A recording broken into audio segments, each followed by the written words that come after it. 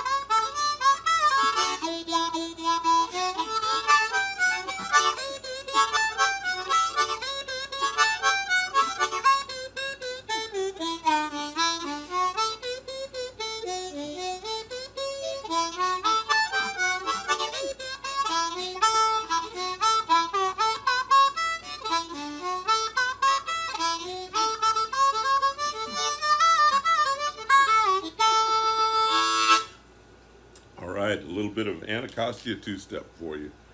Uh, and uh, so thinking about this uh, concert, I thought uh, because it is being hosted by the Library of Congress, I thought I would do a couple of songs that are from the Lomax collection that that is housed there at the Library of Congress. Um, and I thought I would do, I can't really see, I thought I would do a couple of, of songs that I've found there at the Library of Congress. Uh, the, there are field howlers, I guess you could call them.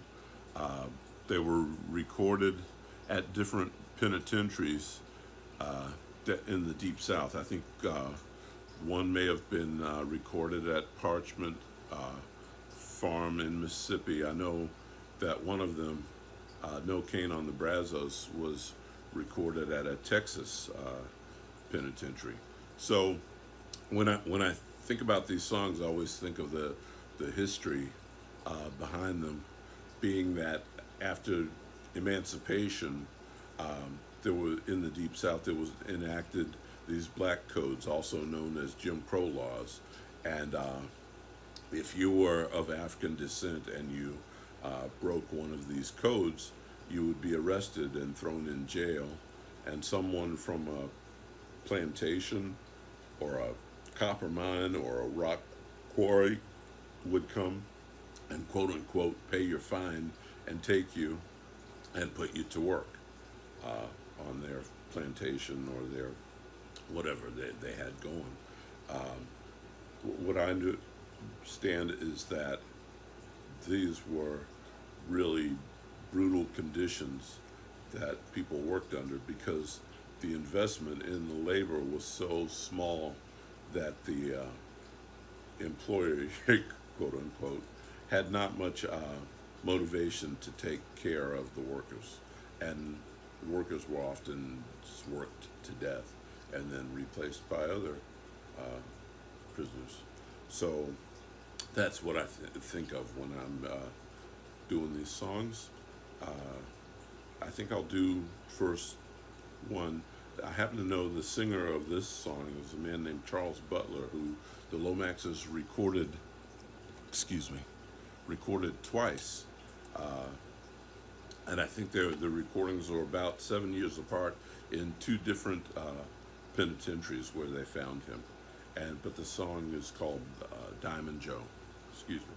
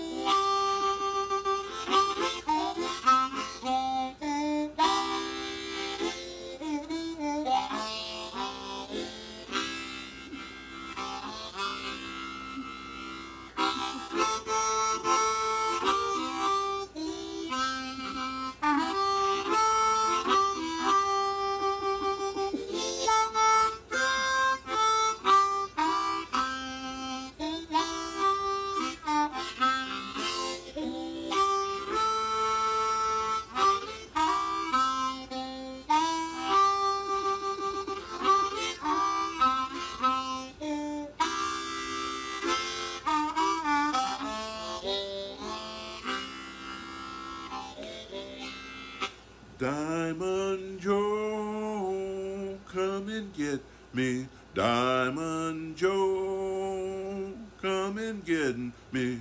Diamond Joe, come and get me. Diamond Joe.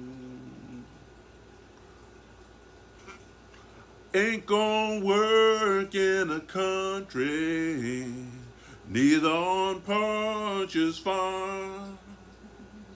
I'm gonna wait till my Maybelle comes. She gonna call me Tom.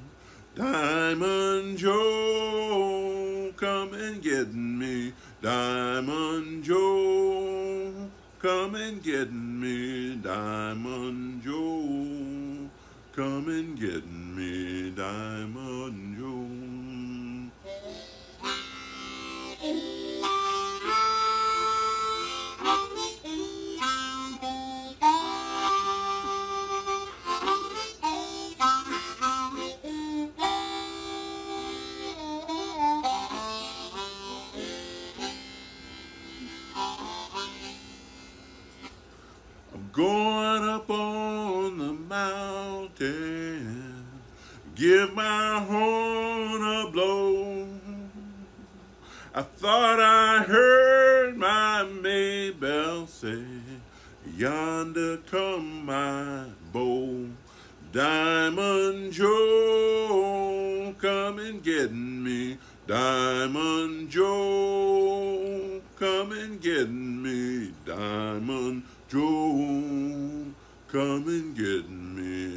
Simon Jones.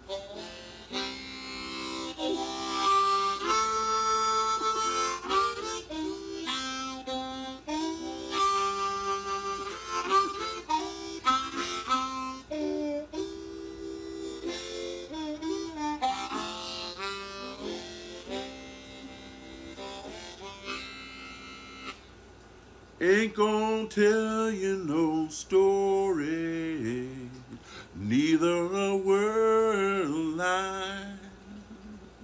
I thought I heard my Maybelle come, or didn't she pass on by?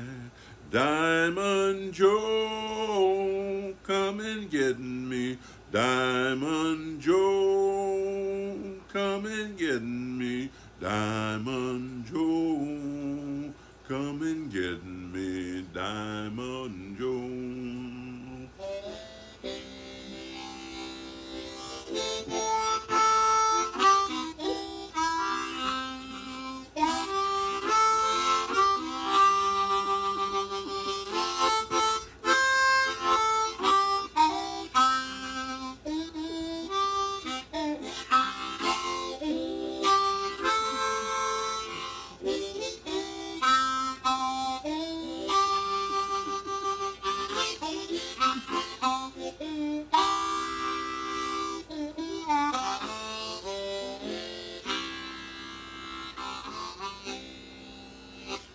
My pants is torn and I got no patches.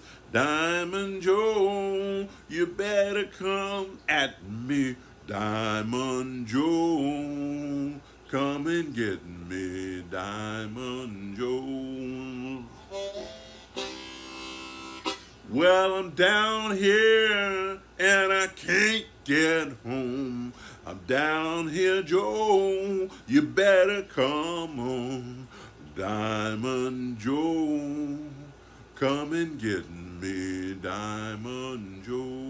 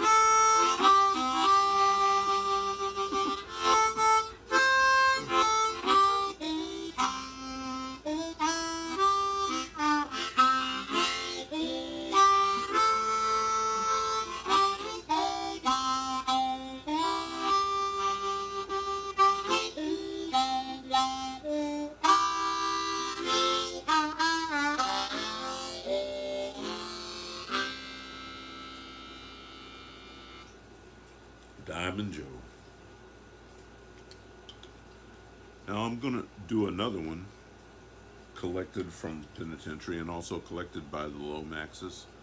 And this one is No Cane on the Brazos, which uh, was recorded in a Texas penitentiary. No cane on the Brazos.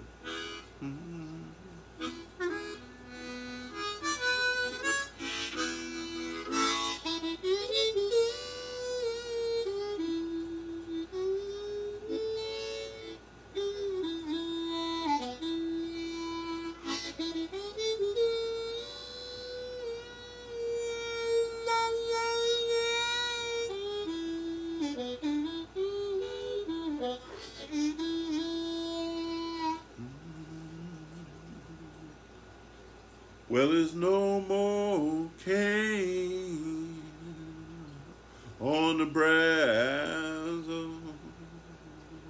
Oh, it's all been ground in molasses.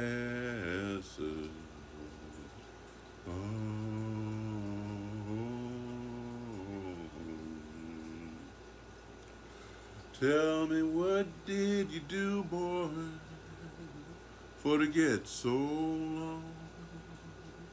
Oh,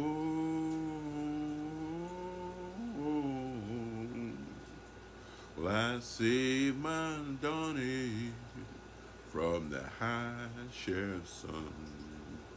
Mm-hmm.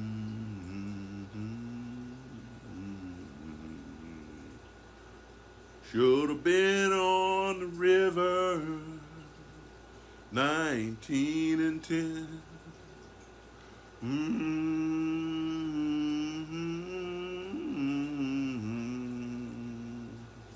There was rolling the women like they drove the men.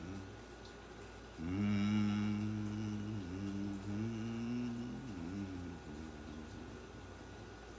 Well, it's some in the building,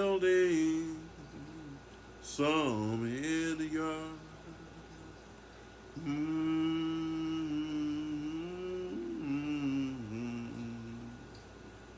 Well, there's some in the grave, some going home.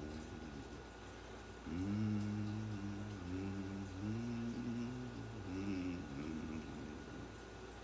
Well, you should have been on the river, 19 and 4.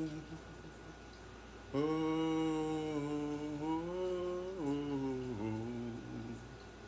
they was finding a dead man every turn and road. Oh, oh, but there's no more king on the Brazos. Oh, oh, oh, they have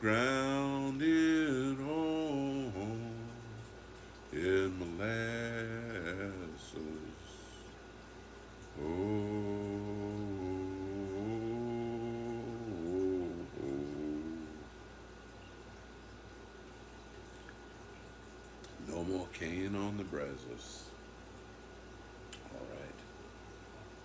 I thought I'd finish out by doing a song.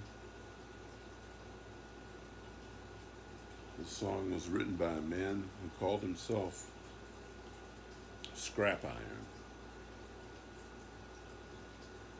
And it's a song about a preacher. You know, and there's a lot of preachers, you know, that preach and live their life. They're all about uh, grace and redemption and compassion.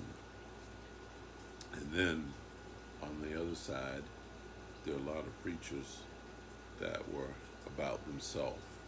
Now, I didn't make this song. This song was written, like I said, by a man named Scrap Iron, but it reminds me of a story that my mother told me once uh, years ago about an experience she had at her church in Titusville, Alabama, when she was a young girl. When she was a young teenager, the WPA came through Titusville and they were teaching the young girls office skills. And my mother uh, took part in that, uh, and she excelled at typing and shorthand and all those other office skills, and she really did well. And uh, so my grandmother was very proud of her. And uh, one day when the preacher was at their house, my grandmother was bragging on my mother how, how well she was doing with her her uh, lessons, her office skill lessons. And the preacher said, well, you know, she should not neglect her church duties, and she should come and put in some time in the church office. Uh, you know, putting to use all these skills she learned. And so my grandmother sent my mother to the church, to the church office. And my mother told me that when the preacher got her alone in the office, it, uh, according to her, she quote said that he said uh, he wanted to be her boyfriend. And my mother bolted away from the church office and ran home, and she told my grandmother what had happened. And my grandmother said, Well, doll, she called my mother doll. She said, Doll, I'm going to tell you two things. Number one, you must never ever be alone in a room with the preacher. And second, and most important, you must never tell Bro Wilson, your brother Wilson, that's my Uncle Wilson, you must never tell him what the preacher said. That was my Uncle Wilson who appears in some of my songs, and he had a reputation for getting things straight. So it would not have been good for him to hear what the preacher had said to my mother. So anyway, that's what I think about when I do this song, Jimmy Bell. Jimmy Bell's in town. Let me make sure I have the right harmonica.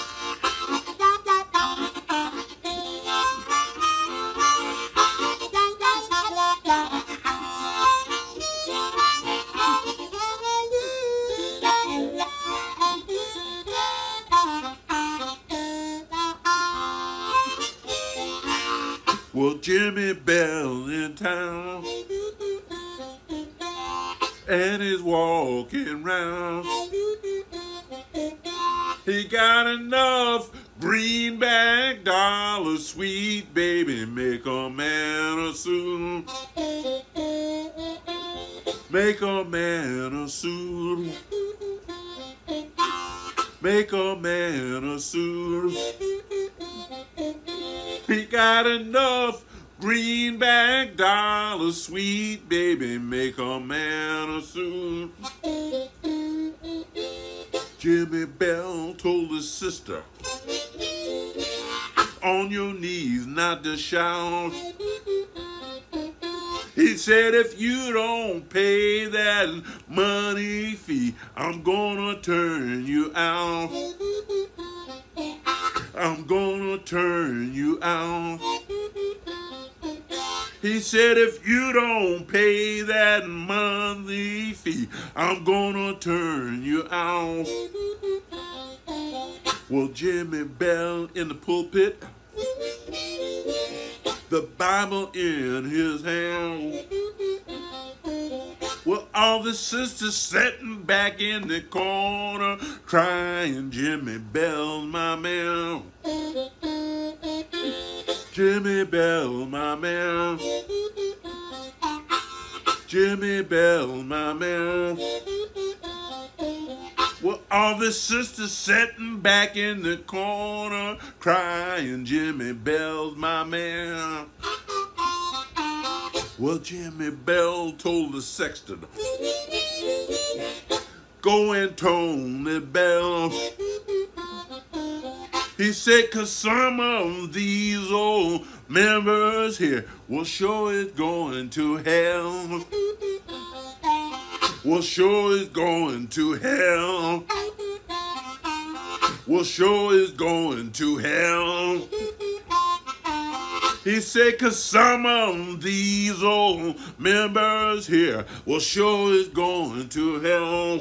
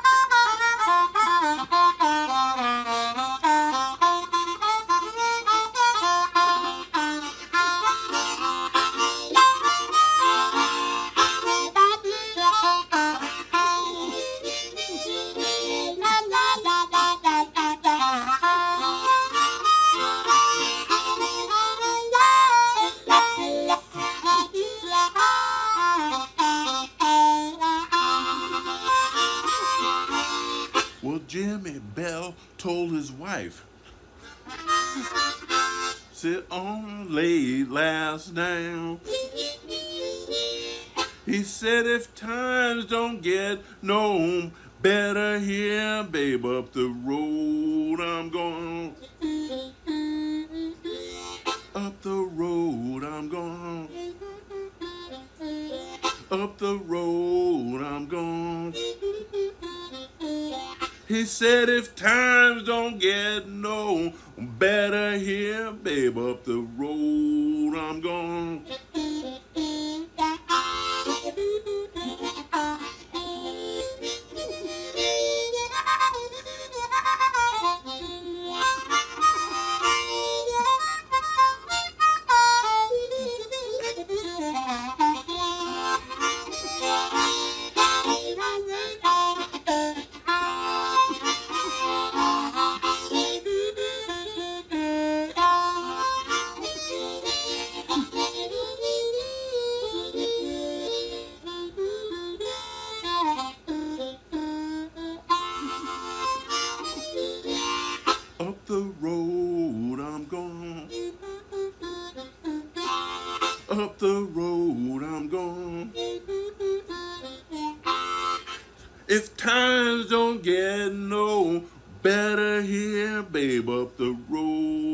I'm going.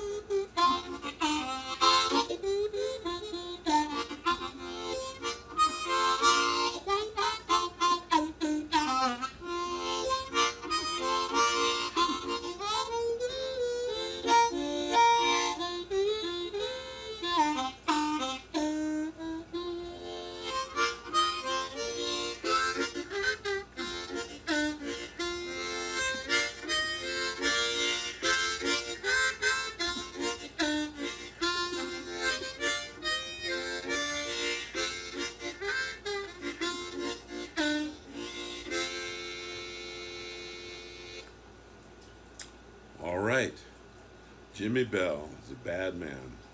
So, anyway, thank you so much for tuning in. I hope you enjoyed something in my uh, presentation.